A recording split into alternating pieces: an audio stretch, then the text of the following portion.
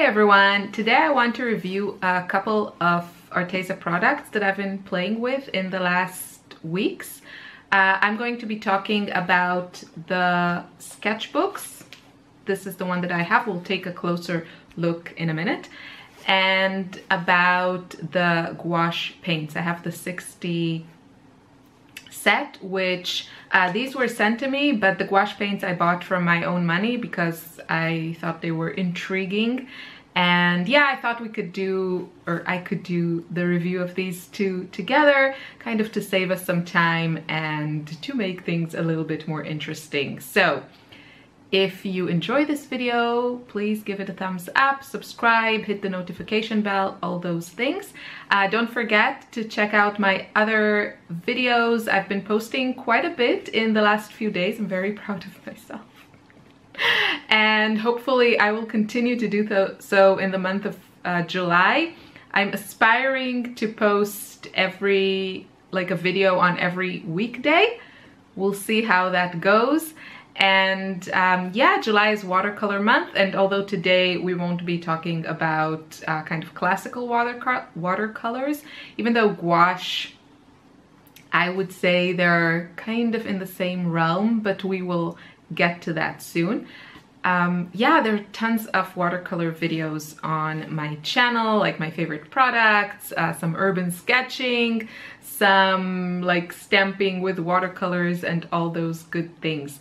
So let's get to the review.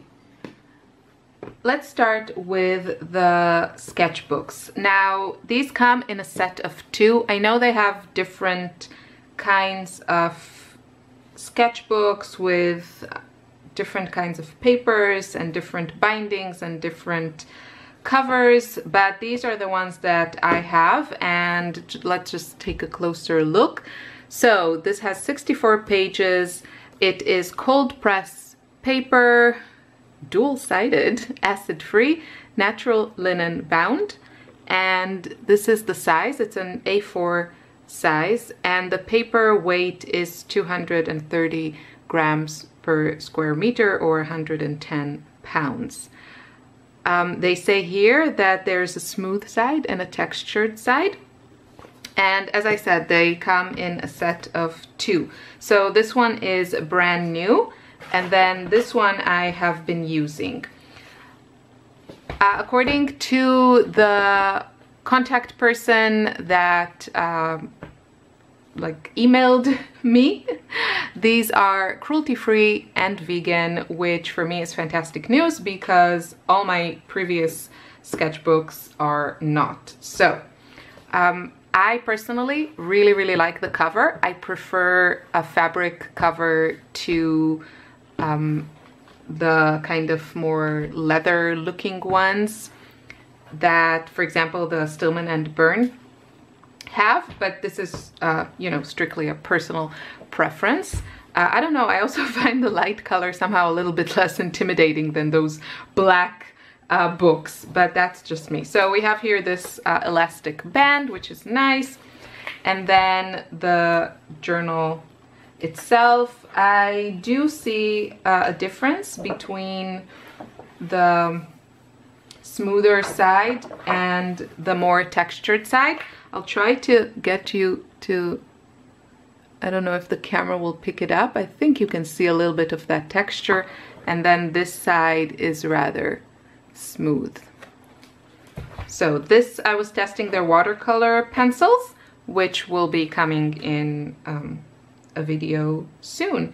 And I have a process video for this on my channel. So I've just been playing around with this, with watercolors, with gouache, uh, sketching, and I have to say, I, this uh, is also, you can find this video on my channel. I'm really enjoying this sketchbook. It is stitched, so you can see, uh, which is my preferred method of uh, binding for sketchbooks. And then the signatures are glued to each other. And that's pretty much the one um, issue that I have with this journal is that where the signatures are glued, if you want the pages to really lie flat, you have to kind of separate them and then you get a little bit of this type of thing going on. Um, I don't think it really matters to, well, I don't know how in time, if these will kind of fall apart, they might. Um, it doesn't really bother me, but I just want to give you all the information so you can decide for yourself. Um, besides that one thing, these feel really, really nice to me. Now the back page has this um, like folder, transparent folder. So this is really nice. You can keep here maybe um, like ephemera or memorabilia or something like that. Ooh, that would be a good idea. Like a grayscale. And that's about it. So I, for me, I think these are a great option. I think they are quite good value for the price they feel really nice. I haven't tried the other ones, so I can only talk about these, but I'm really happy with them. I've been also taking this with me outside. I gotta say, pretty much all of my other sketchbooks, once they are full, they do look a bit beat up. So I don't um, think like the, the wear and tear on this is anything different. Uh, the paper, I haven't done like really, really heavy washes here. Um, I don't tend to really like, you know, drown my sketchbooks in water. Uh, if you do do that, I really think the Khadi ones are the best for those purposes. But for light washes, this worked really well. I liked the way that the color blends and I like the way that granulation shows here, shows up on this paper. You can see that the granulating colors um, look rather nice. Probably better, they look better on the um, on the more textured side. And yeah, I, I can only say like good things about this with the exception of that the way that the page uh, pages separate where the signatures are glued. But again, to me, it's not a big um, issue. So the journals definitely get a thumbs up for me. If I wanted to take these on like a trip or something, I think I would search for a smaller size uh, even though I am enjoying this, so it's, again, this is really like personal preference, but I think it's good value for money. And there's also this uh, cute, what's it called? You know, this thing. Sorry. okay, so let's move on to the gouache. I got the 60 set, which looks like this. So this is way too much paint for anyone to ever use. And I got this set because I'm very drawn to like tertiary colors and some of these like muted pastel colors, which you can't find many times in smaller sets. Also, I thought the price was great and I did see reviews before I bought these. So I decided to just go for this set. Now, I don't think I will use all of the colors, but I also think this is something that my kids can enjoy. Um, these are, again, cruelty-free, vegan, and non-toxic. And what I did, I took this old, um, or old, like empty case of Prima pencils, and I filled it with like empty pans and half pans. And then I added the colors that I thought would be the most useful to me. Before we get into the demo, I just want to show you the colors that come in the set.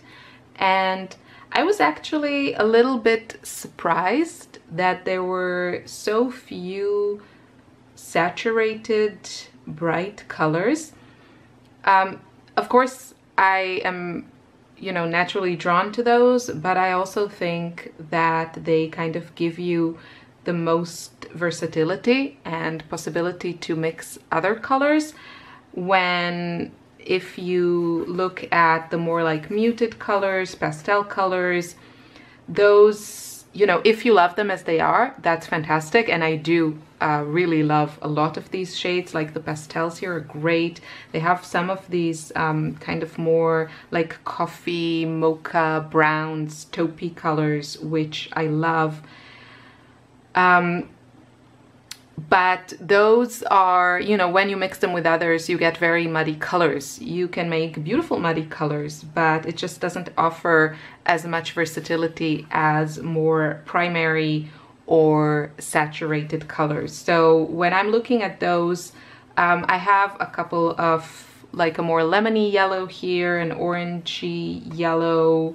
Um, I wouldn't say like maybe this one is kind of a, a more primary yellow. But then you have like three oranges, yellow oranges that are really similar to each other. Like these two are almost identical.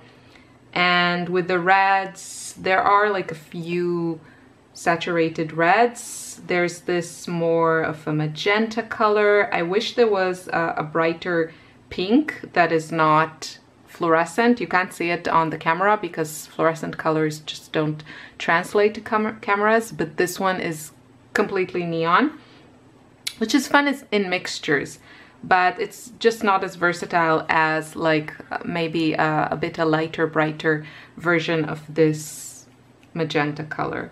Uh, the blues, we have like ultramarine and then a couple of other blues which would work well a few bright greens. Uh, this one is um, like, I really like this, but it probably has some white in it.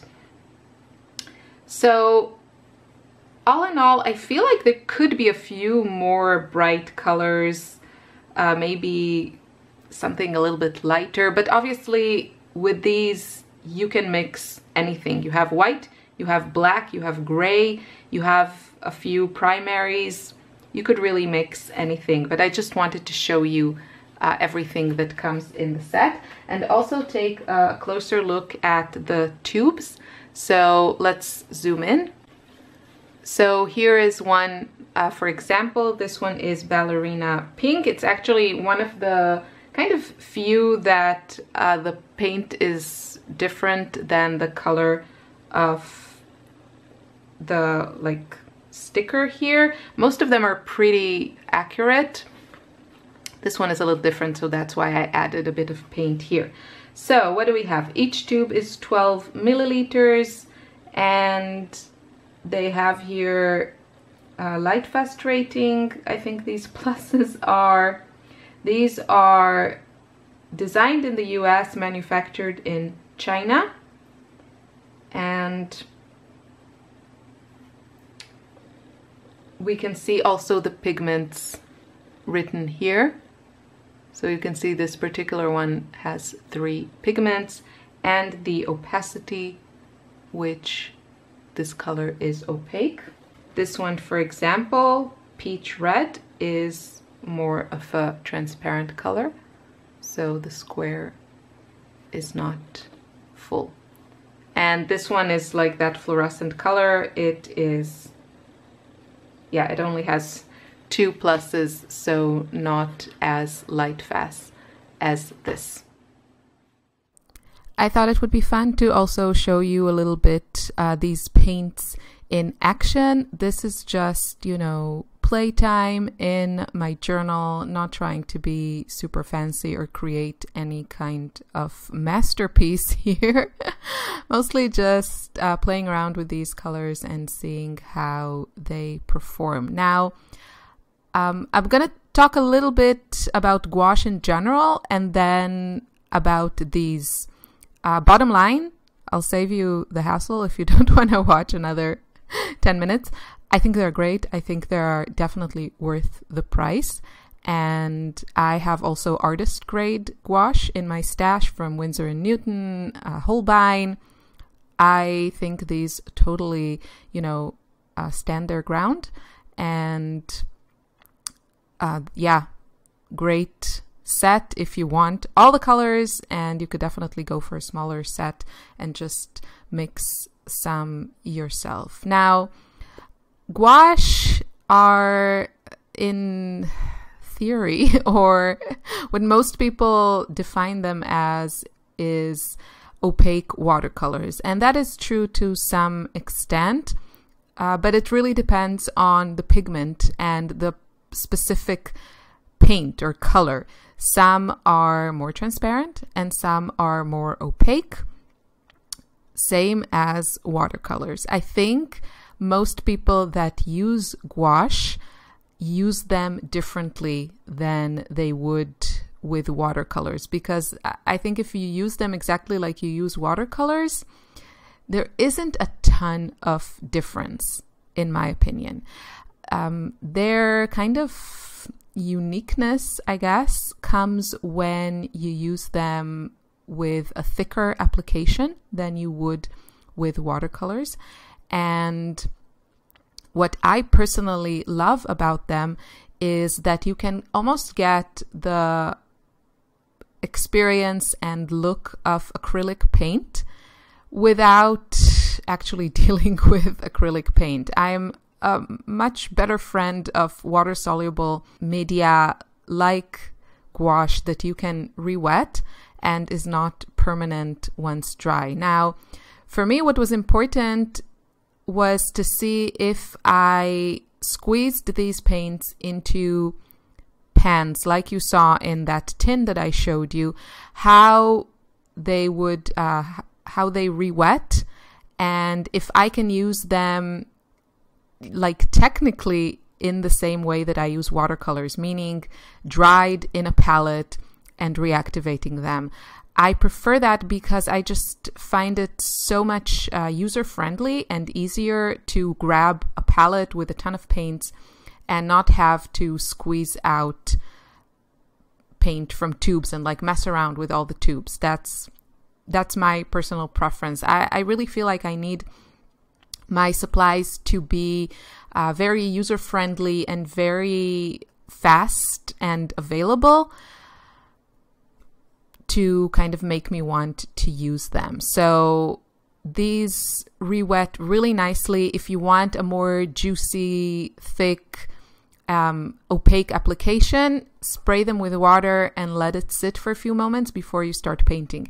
If you want that maximum opacity and kind of thicker application like you would expect from acrylic paint, then best is to use them straight from a tube. It's not a problem. It works fantastically. That's what I'm doing actually here. I just squeezed some paints onto this uh, palette and it works great. I always have issue because I always, you know, I squeeze too much paint and then I don't know what to do with it and then I, it's just stuck there and I don't want to waste it. So that's just like my own private uh, issues with it. But it does uh, dry really nicely. Some gouache paints will get kind of really crumbly and very, they crack and they don't dry as nicely as others. Um, I think it's also a matter of, you know, time. If you don't use them heavily, I would say just squeeze a very small amount into a palette. I wouldn't, it's not like watercolors where I can be kind of confident that even if I don't touch that palette for months, uh, the paints will look the same. The gouache doesn't always have that kind of stickiness to it that allows it to stick to the palette and kind of stay put and uh, yeah, it tends to dry out a bit more from my experience. Um, again, with the color range, you know, it's it's really what you see is what you get from the samples that I showed you, like the swatches. Some of the paints are brighter and more transparent, and those tend to give you more versatility. But then you also have to kind of know how to mix colors. So I do think the set, while the color selection is not, it's not perfect in my opinion, but if I could kind of curate a set, uh, I would do it a bit differently. Some colors are too close together and then some are a bit redundant. But all in all, you can pretty much mix anything from the set. And I do really love their kind of lighter more pastelly neutral colors. I think those are beautiful and I do enjoy incorporating them um, into my artwork. I think that's about covers everything I want to say about these. If you have any questions or you know you want to share your own opinion about these, uh, by all means leave it in the comments. You know, people want to hear as many opinions as they can, and I would definitely appreciate yours uh, as well as other people that read the comments. I really enjoyed these. I definitely see myself using them again, probably mostly from that tin that I showed you. And I think for me personally, their advantage over my uh, watercolor palettes are probably those lighter pastels that have more opacity to them because the bright uh, gouache are kind of similar to my watercolors, and I personally like to use kind of very uh, juicy watercolors. So, yeah, they they really perform similarly to me. And these are really great for kind of illustrations.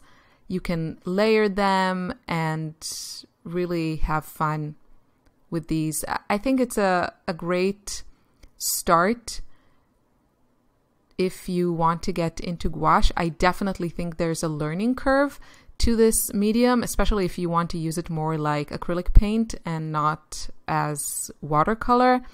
Uh, I mean, in that thicker application, there's a learning curve for sure. You can see how nicely it layers and how opaque um, those lighter colors are there's really a lot you can do with this and this set has such a great price point. Yeah. I'm just repeating myself. So i'm going to play you a little bit of music until i'm done uh, painting and i will see you soon in another video. I have brush pen review coming up and also their watercolor pencils watch out for that. And thank you for watching. Subscribe, hit the notification bell, like, all those things, and have a wonderful day. Bye.